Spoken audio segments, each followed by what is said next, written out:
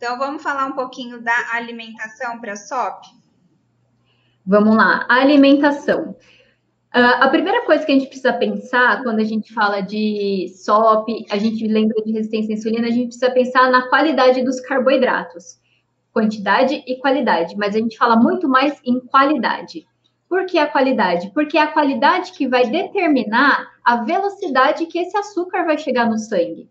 E isso vai influenciar diretamente na liberação da insulina. Então, se eu tenho o consumo de um alimento que a absorção do açúcar é feita muito rápida, a insulina vai, puff, vai lá para cima. Por quê? Porque precisa absorver esse açúcar. Só que se o meu organismo não está aproveitando essa insulina, ele deu aquele pico, liberou toda a insulina que eu tinha e ela vai ficar rodando, rodando, rodando. Então, o que, que a gente precisa fazer? A gente precisa consumir carboidratos que têm uma velocidade menor de absorção para ele chegar mais devagarzinho na circulação e aí não vai ter aquele pico de insulina. A insulina vai ser liberada aos pouquinhos, conforme o açúcar foi chegando, e aí sim a gente consegue é, combinar as duas coisas. A insulina vai, consegue fazer a atuação e absorve esse açúcar que está no sangue. Então, nem tem o pico de insulina e nem o pico de glicose no sangue. Né? Então, isso é a principal coisa. Vanessa, eu adoro fruta, eu adoro fruta e eu sei que fruta faz bem para a saúde. É, faz bem, mas espera lá. A fruta também tem açúcar. Então, se o açúcar da fruta, que é a frutose, ela é absorvida muito rápida, eu tenho que usar estratégias para que esse açúcar não chegue tão rápido no sangue. O que, que eu posso fazer? Eu posso colocar uma fibra, eu posso comer com uma castanha, eu posso comer uma banana e duas castanhas, por exemplo, porque vai diminuir a velocidade de absorção desse açúcar, esse açúcar vai chegar devagarzinho na circulação, não vai ter o pico de insulina, e a insulina vai ser liberada aos pouquinhos e não vai ter esse efeito negativo do excesso de insulina no sangue. Quer falar aqui, se, se ajudar a imagem? Olha só, aqui, aqui a gente está vendo os efeitos do índice glicêmico. O índice glicêmico nada mais é do que a velocidade que o açúcar chega no sangue. Então, se o açúcar chega muito rápido, olha só o pico que dá. Eu comi o açúcar, aí ele vai lá para cima, ó, aí tem aquela liberação de insulina que vai fazer a, gli a glicose descer.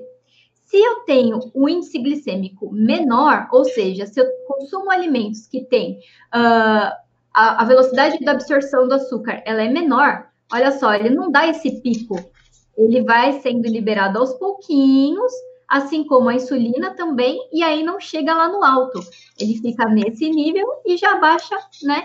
Então eu tenho frutas com alto índice glicêmico e frutas com baixo índice glicêmico. Então, a gente precisa saber escolher essas frutas e usar as estratégias alimentares para a gente é, contornar esses efeitos. O que, que a Aninha, Aninha não, a Inês falou aqui, ó. É, quando eu como banana, eu me sinto mais sonolenta. É exatamente isso. Quem tem SOP e tem resistência insulínica não deve comer as frutas, ou batata, ou arroz, ou macarrão de forma pura. Sempre tem que estar agregado uma proteína, uma gordura, para que não tenha aquele pico todo e você se sinta mal depois com o efeito rebote, né? De, de ter perdido toda é, a sua produção hormonal ideal.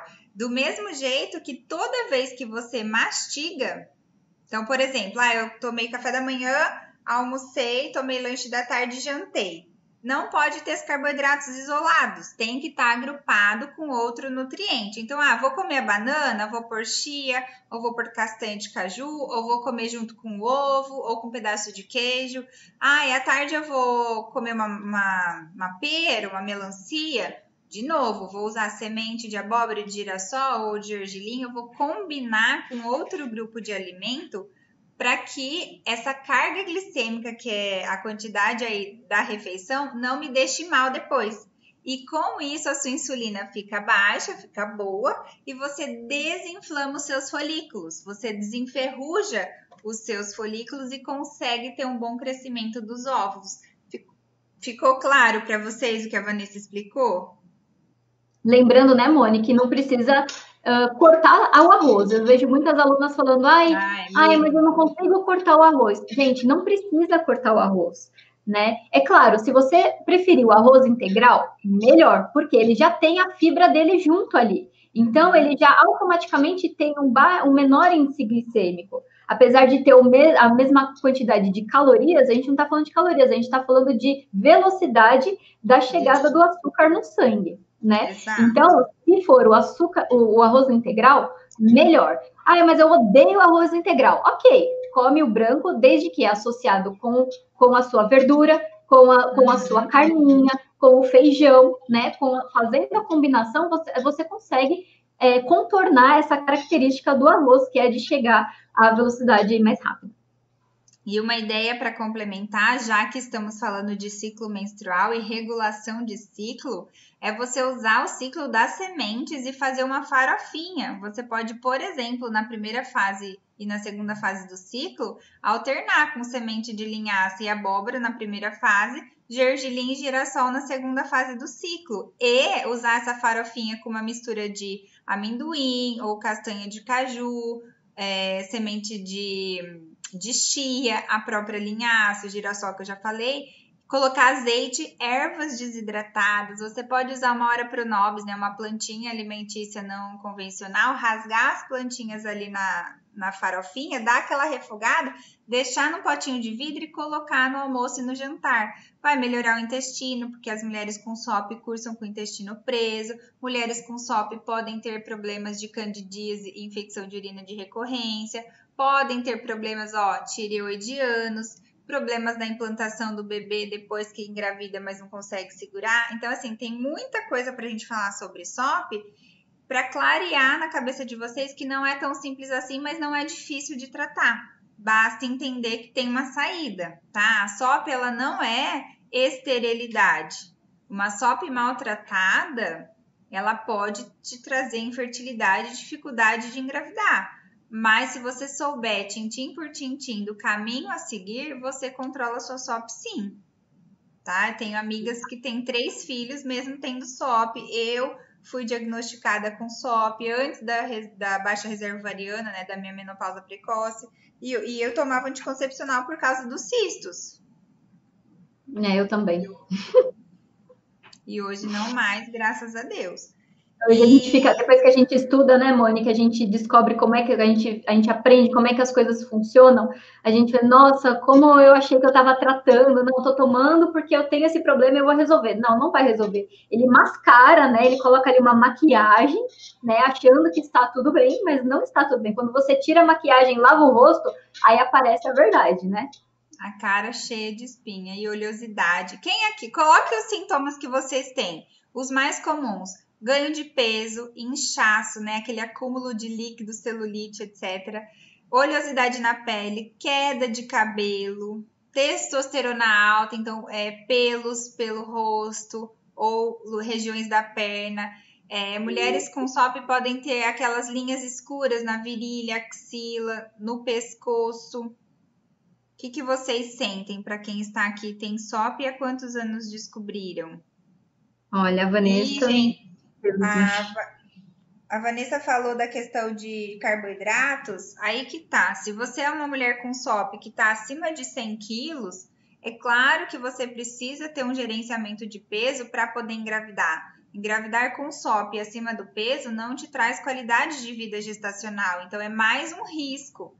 Então, sim, precisa ter um controle de carboidrato. Então, eu vou reduzir a quantidade de arroz, de batata, de tapioca, de polvilho, de fruta, uma mulher com SOP muito gordinha, inchada, com os excessos, ou até mesmo com pressão alta, pré-diabética, ela tem que ter um controle de carboidrato sim. Uma mulher com peso saudável, uma mulher mais magrinha, ela pode comer, por exemplo, é, fruta com o ovo de manhã, arroz com feijão, carne, salada e legumes no almoço, algum bolo saudável à tarde que tenha alguma farinha saudável e pode jantar, por exemplo, uma mandioca cozida com uma carne e os legumes a mulher gordinha já tem que reduzir de 2 a 3 carboidratos por dia. A mulher que está muito magrinha e quer ganhar peso, ela pode comer 5, 6, 7 fontes de carboidrato. Então, essa questão é muito individualizada, que a gente vai tratar em detalhes mais lá na jornada Ser Mãe, ok? Agora, Mone, não consigo comer arroz integral. Gente, tem inhame, tem cará, tem batata doce, batata inglesa, tem quinoa, tem um monte de outras fontes de carboidrato que você pode substituir. E se você não gosta do integral e vai comer o branco, põe sementes para reduzir e melhorar a carga glicêmica, ok? A geleia real, que perguntam muito, é um alimento, né? A geleia real da, que a abelha rainha consome é um super mega potente alimento para os nossos ovos.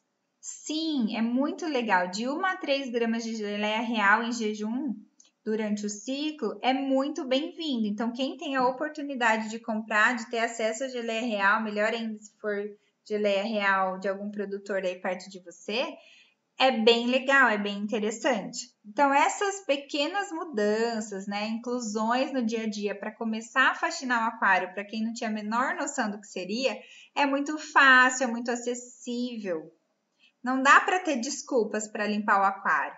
Então, ah, parei de tomar anticoncepcional, comecei a comer mais salada, incluí algumas frutas, comecei a incluir legumes. E parênteses, de novo, comer salada não é uma folhinha de alface, uma rodela de pepino e tomate, não, gente. Comer salada é uma pratada de salada. É couve, é acelga, é repolho, é espinafre, é abóbora. E você pode separar por semana, por ciclo menstrual também. Tá menstruada, vai comer mais beterraba, mais folha verde escura, vai comer mais rúcula, mais escarola, mais espinafre, tem mais ferro, você tá perdendo sangue. Então você tem que optar pelas verduras verdes escuras. Tá na semana ovulatória, você vai para as mais claras, você reduz um pouco os antioxidantes. Mel, o mel é uma delícia, né, gente? Mas o mel, ele é um carboidrato de alto índice glicêmico que a gente tem que tomar cuidado se você tem a resistência insulínica. Extremamente saudável, rico em antioxidantes e vitaminas e minerais, só que vou jorrar mel da banana, vou jorrar mel na salada, vou jogar mel no pão de mel. É muito mel, tá? Então tem que tomar um certo cuidado. Se tem insulina alta, tá acima do peso, não usa. E o mel, ele tem a propriedade FODMAP, que é um fruto ólico sacarídeo fermentável, um carboidrato que você come, puf, estufa. Pessoas que consomem mel e sentem estufamento é porque você não consegue digerir, quebrar esse carboidrato do mel. Tanto quanto tem gente que tem isso para abacate e para determinados outros alimentos, como brócolis, etc. Ah, mas é tudo saudável. É saudável, mas não quer dizer que para você geneticamente faz bem. Então tem que avaliar. Mas poder, Mel, pode? Pode sim, claro que pode. Do jeito que própolis pode, geleia real pode, ele também pode. Mas tem que ver quanto e para quem, ok?